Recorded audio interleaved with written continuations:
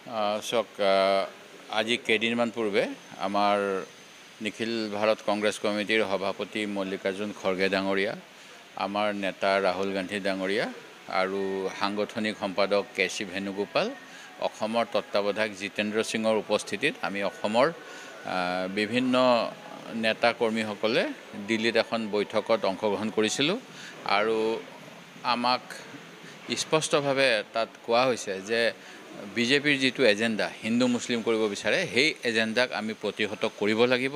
কাৰণ দেশৰ মূল সমস্যা হিন্দু মুছলিমৰ মাজত বিভাজন আনি পেলাই ধৰ্মীয় উৎপাদনা সৃষ্টি কৰাটো কেতিয়াও হ'ব নোৱাৰে। বৰ্তমান সময়ত আমাৰ দেশৰ যুৱকসকলক নিবনুৱা সমস্যা কেনেকৈ সমাধান কৰিব পাৰি? সাধাৰণ গৃহিণীসকলক ভাল দিন কেনেকৈ আনি দিব পাৰি? যি যি ভাল দিনত গেছৰ চিলিণ্ডাৰৰ দাম বাৰশ টকাৰ পৰা পুনৰ চাৰে চাৰিশ পাঁচশ হ'ব পাৰে।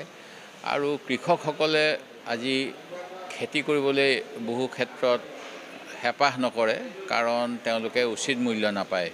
আৰু এনেধৰণৰ যিবিলাক ৰাইজৰ ইছ্যু শিক্ষাৰ্থীসকলৰ বাবে আজি শিক্ষানুষ্ঠান আমি আনি দিছিলোঁ ৰাইট টু এডুকেশ্যনৰ যোগেদি এই চৰকাৰে শিক্ষানুষ্ঠানসমূহ ধ্বংস কৰি গৈছে। সেই গতিকে এইবিলাক বিষয় আমাৰ জনগণৰ প্ৰয়োজনীয় বিষয় এইবিলাকৰ বাবে ৰাইজৰ ওচৰত আমি কাম কৰিব লাগিব আৰু বিজেপিৰ ভুল নীতিৰ বিৰুদ্ধে জনগণক সজাগ কৰিবলৈ তৃণমূল পৰ্যায়ৰ পৰা দলক মজবুতি কৰিবলৈ আমাক সকলোকে পৰামৰ্শ দিছে। সেই অনুসৰি আমি এতিয়া গ্ৰামাঞ্চল বাগান অঞ্চল সকলোতে কংগ্ৰেছৰ বিষয়ে আৰু লগতে বিজেপিৰ যি দুৰ্নীতি বিজেপিৰ যি তেওঁলোকৰ সহযোগী যিসকল পুঁজিবাদী তেওঁলোকৰ বাবে যে আঁচনি লৈ আছে সেইবিলাক কথা ক'ব লাগিব। সেই গতিকে আমি এইখিনি কৰিবলৈ এতিয়া প্ৰস্তুতি চলাই আছোঁ। উদাহৰণস্বৰূপে এতিয়া আমাৰ বিভিন্ন ৰে'লবিলাক ক'ভিডৰ সময়ত বন্ধ কৰি দিছিল। পেচেঞ্জাৰ ট্ৰেইনৰ পৰিৱৰ্তে এতিয়া স্পেচিয়েল ট্ৰেইন বুলি নাম দি তেওঁলোকে দহ টকাৰ টিকেটটো ত্ৰিছ টকা লৈ আছে। আজি ষ্টেচনবিলাক বনাইছে ভাল কথা। কিন্তু সেই অনুসৰি যাত্ৰীসকল যাব পৰাকৈ কিমান ৰে'লৰ ব্যৱস্থা কৰিছে এই কথাবিলাক যে মাত্ৰ এয়াৰপৰ্ট ব্যক্তিগতকৰণ কৰাৰ নিচিনাকৈ ৰেলৱে খণ্ড ব্যক্তিগত কৰাৰ অজুহাত নেকি এই কথাবিলাকো আমাক ৰাইজৰ ওচৰত লৈ যাবলৈ কৈছে। আমি এইবিলাক কৰিম। মণিপুৰত আমাৰ আজি বহু বছৰ ধৰি মণিপুৰত যোৱা সময়ছোৱাত উগ্ৰপন্থীৰ সমস্যা আছিল আৰু এইবিলাক মোকাবিলা কৰা হৈছিল। তাত সকলোৱে একেলগে বসবাস কৰিছিল। কিন্তু মোদী চৰকাৰৰ ভুল নীতিৰ বাবে তাত মণিপুৰ ৰাজ্যখনেই গোষ্ঠী সংঘৰ্ষত এতিয়া যোৱা এশ দিনতকৈ অধিক দিন ধৰি বিপৰ্যস্ত।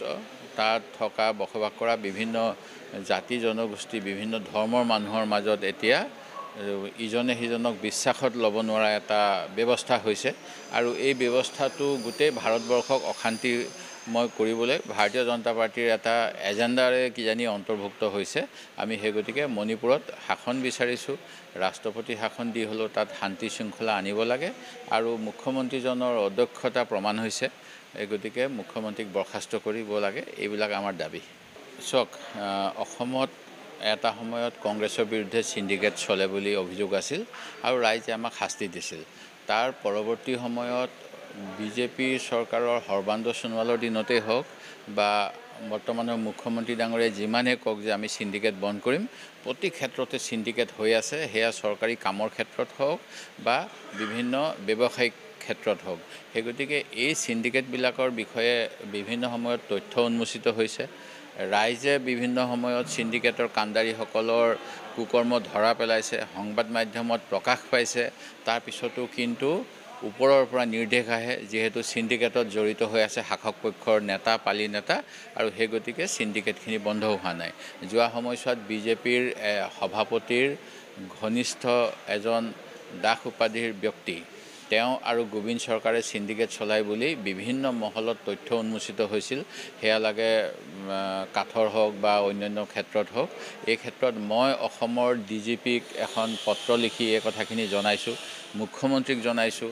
ইয়াৰ পূৰ্বৰ ডি জি পিক এখন অভিযোগ দিছিল কিছুমান ব্যক্তিয়ে। এইবিলাক থকা স্বত্তেও কোনো ধৰণৰ কাম কাজ চিণ্ডিকেট ৰোধ কৰিবলৈ এই চৰকাৰে কৰা নাই। সেই গতিকে চিণ্ডিকেট এই চৰকাৰৰ এটা অবিচ্ছেদ্য অংগ। আৰু এই কথাটো আজি অসমৰ সকলো ৰাইজে জানে। মুখ্যমন্ত্ৰীয়ে যিমানেই চিণ্ডিকেট ৰোধ কৰিম বুলি ক'লেও ডাঙৰ ডাঙৰ চিণ্ডিকেটবিলাক চলি আছে। সৰু সুৰা দুই চাৰিজন মানুহক তেওঁলোকে বিভিন্ন অজুহাতত গ্ৰেপ্তাৰ কৰে। কিন্তু তাৰপিছত আকৌ একেই হৈ যায়।